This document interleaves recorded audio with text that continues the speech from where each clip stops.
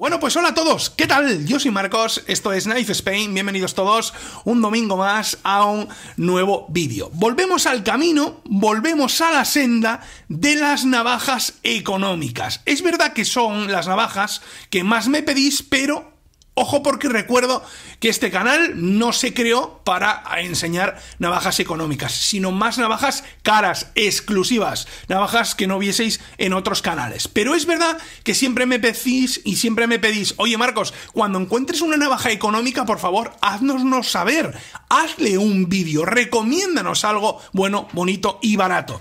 Y hace 10 meses os recomendé esta marca, QSP, y el modelo Penguin, un modelo que gusta muchísimo y un modelo posiblemente el más vendido de la marca. Pero es que hoy...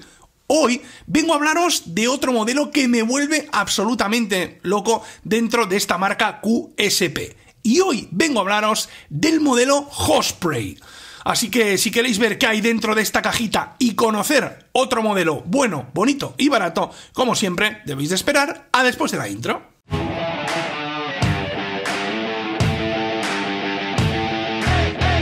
Bueno, pues estamos de vuelta y vamos ahora sí con esta QSP Hospray. Que la verdad es que hace 10 meses cuando hice el vídeo de la Penguin yo tenía muy claro que otro vídeo a otro modelo de la marca le iba a hacer seguro. Porque me gustó muchísimo aquella Penguin. De hecho, recuerdo que os gustó también muchísimo a vosotros. Porque como dice su nombre QSP, estas navajas tienen quality tienen service y tienen price. Y la verdad es que eso es de agradecer, que dentro de un precio muy comedido, es verdad que esta es un poquito más cara que la Penguin, esta ronda aproximadamente los 70 euros, es más la baja que la Penguin, ¿vale?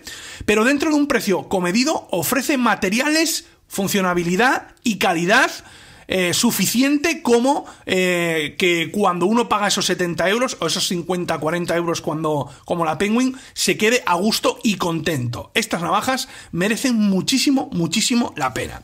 Y dicho esto, vamos ahora sí con la caja. La caja es exactamente igual en cuanto a material y colores, yo creo, que cuando os enseñé la Penguin, pero es verdad que es un poquito más grande, más cuadrada. La otra era un poquito más rectangular, esta es un poquito más, más ancha, más ancha diría yo, ¿no? Vamos a sacarla de la caja, esta Hospray que la verdad es que es un poquito paripé, yo la llevo portando los últimos 7-8 días y estoy encantado con ella, pero obviamente para presentarla siempre la, eh, la, la, meto dentro de su caja original. En uno de los costados, que ya no me acordaba, viene algo de información, pero bueno, no os lo quiero enseñar mucho tampoco porque os haría un poquito spoiler de lo que os vengo a enseñar.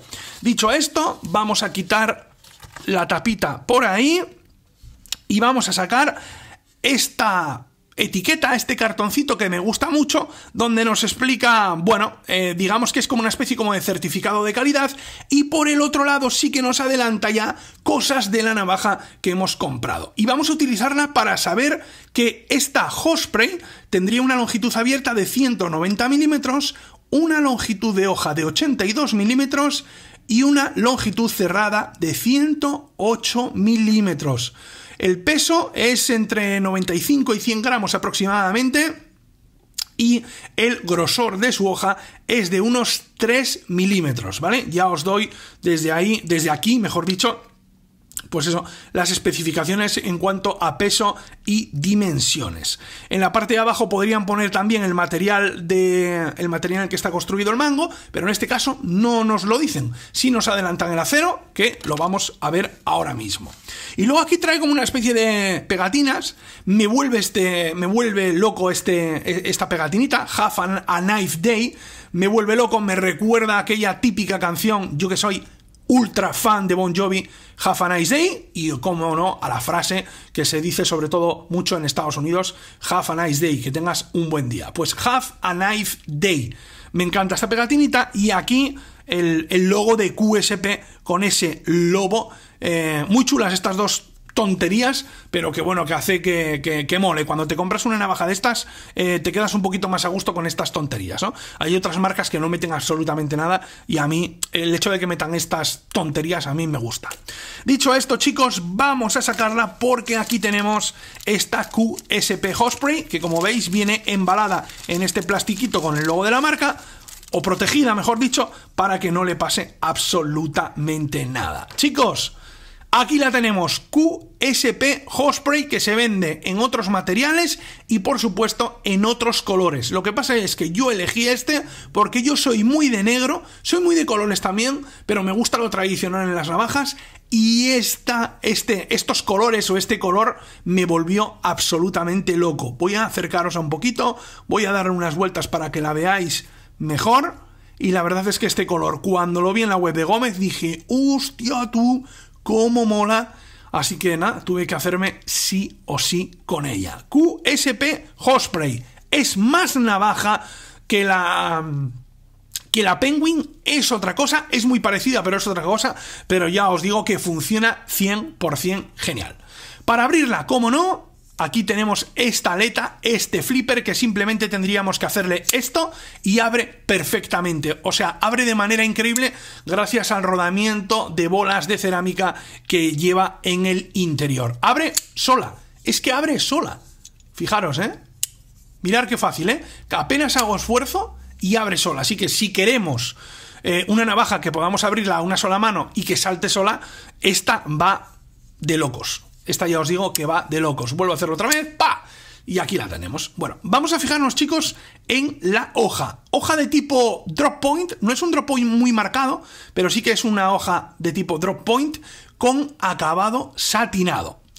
En esta parte de aquí no veremos nada, bueno, el logo de QSP y en la parte de atrás sí que veremos el acero en el que está fabricado. Y es un acero normal. Hay que recordar que esta navaja cuesta alrededor de unos 70 euros. Es un acero normalillo, pero es un acero que a mucha gente le gusta porque es muy, muy fácil de afilar. Os estoy hablando del acero 14C28N.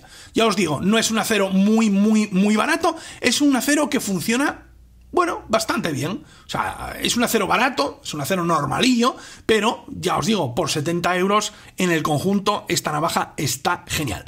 En la parte de arriba, en el lomo, vemos cómo lleva esa cremallera para si queremos utilizar nuestra navaja, pues yo que sé, para cortar algún palito o para hacer algo de esto, para que apoyemos nuestro pulgar y no se nos marche. Eh, muy bonita la hoja muy muy bonita, no es, ya repito, no es un drop point muy marcado y a mí me gusta tener hojas y navajas de diferentes tipos y la verdad es que esta pues, pues me ha gustado mucho, mucho. El bloqueo que lleva, como no, como ya habéis visto, es un liner lock genial para cerrar, es que va suavísimo, mirar, va muy muy suave. El bloqueo que lleva liner lock uno de los bloqueos que más se están utilizando a día de hoy en el mundo de la cuchillería por su seguridad y sobre todo repito, pues por eso, porque se cierra a una sola mano de manera muy muy fácil. El backlock es muy seguro, pero es verdad que habría que venir aquí, depende depende del eje, cuesta cerrarla, a veces no se puede cerrar una mano, te podría pillar una mano los dedos, este liner lock va genial y las marcas es, yo creo que, de los bloqueos que más están usando, repito, en el mundo de la cuchillería. Vamos ahora sí a su mango, que es lo que más llama la atención de esta QSP Hotspray, fabricado en G10 azul. Fijaros lo bonita que es porque lleva como un toque jaspeado entre negro, gris y azul, pero ellos lo llaman G10 azul. Es una pasada. A mí fue lo que me enamoró de esta navaja. Ya os digo, cuando la vi en la web dije, hostia, es que es la que más me gusta de todas y tengo que conseguirla, tengo que usarla, tengo que hacerme con ella y como no tengo que hacerle vídeo para todos mis seguidores. Está guapísimo. No sé decir, eh, es como las piezas, no, es, no, se siente como fibra de carbono porque no lo es, pero fijaros en los dibujos que lleva, ¿veis? La hace diferente, la hace elegante, la hace exclusiva, está guapísima. Fijaros en la parte delantera con el logo de, de QSP está genial. O sea, si queréis una navaja diferente a lo que estáis acostumbrados, si queréis, no sé, a mí de todas las Osprey, la que más me gustó sin ninguna duda es esta y por eso está aquí. ¿Cómo no? Ya os digo, G10 azul, creo que la llama así. No obstante, eh, la referencia os la dejaré pues en algún momento del vídeo. Eh, lo que vamos a ver ahora es la parte de atrás donde encontraremos su clip. Clip de porte profundo no deja de ser como un alambre. Es verdad que en los clips quizás se podrían esforzar un poquito más, pero no deja de ser como una especie de alambre que, por cierto, funciona muy bien porque va muy, muy apretada. Ya os digo que esta navaja no se os sale del cinturón para nada, o del bolsillo, mejor dicho, y además es muy, muy largo. ¿Vale? Así que es verdad que hay otros clips que son un poquito más cortos, que no llegan a apretar del todo, que tenemos un poquito de miedo a ver si se nos va a caer cuando nos sentamos. Ya os digo porque esta yo la he utilizado, que a mí no se me mueve el pantalón ni de coña. Clip que podemos poner en removible en ambos lados y antes de acabar como no tenemos que mencionar este agujero para cordón fiador que la verdad es que es un poquito raro es un poquito raro pero bueno, está chulo. Es que no sé muy bien en qué material está fabricado, la marca no nos lo dice. Eh, parece como es como si fuese mi carta. Yo creo que la marca, por lo que he mirado, no nos no nos lo pone en ningún lado, pero es como si fuese mi carta no es acero, no sé chicos, si sabéis exactamente en el material en el que está construido este agujero que a su vez hace efecto de separador también, dejádmelo en los comentarios porque yo a simple vista no sé el material, aunque se parece muchísimo, muchísimo a la mi carta. Y si cuando analicé la Penguin lo que más nos llamó la atención de la navaja era cómo venía de afilada, hay que mirar si esta Osprey viene exactamente igual, viene peor o viene mejor. Bueno, mejor que aquella lo dudo. Así que chicos, vamos a probarla. Yo no la he probado, sí que he cortado cositas con ella, pero en un folio yo no la he probado y... Vienen muy afiladas.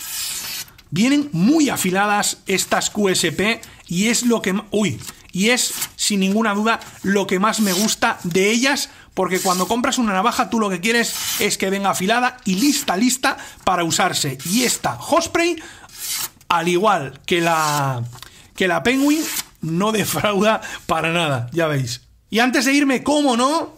Tenía que compararos esta QSP Osprey con dos de los modelos más utilizados y más vendidos en el mundo de la cuchillería en estos momentos. En la parte de arriba tenemos un modelo barato como es eh, bueno, barato, un modelo que ronda más o menos el mismo precio de esta Osprey, como es el Cibibi Elementum. Ya veis que esta Osprey es un poquito más larga, más grande, ¿no?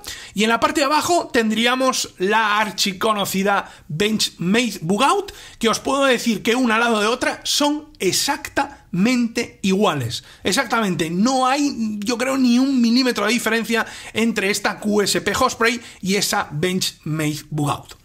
Recordaros como siempre que si queréis haceros con esta QSP Osprey o con cualquier otra pieza de cuchillería, podéis hacerlo a través de la web de nuestro colaborador del canal, Cuchillería Gómez de Pamplona, que ya sabéis que hacen envíos a cualquier parte del mundo. Nada más, dejadme en los comentarios qué os parece en general esta marca QSP y qué os ha parecido este modelo Osprey que tanto, tanto me ha gustado. Os recuerdo, ronda los 70 euros y es una pieza cojonuda para el día a día. A mí me ha encantado. Y la pregunta es, ¿y a vosotros?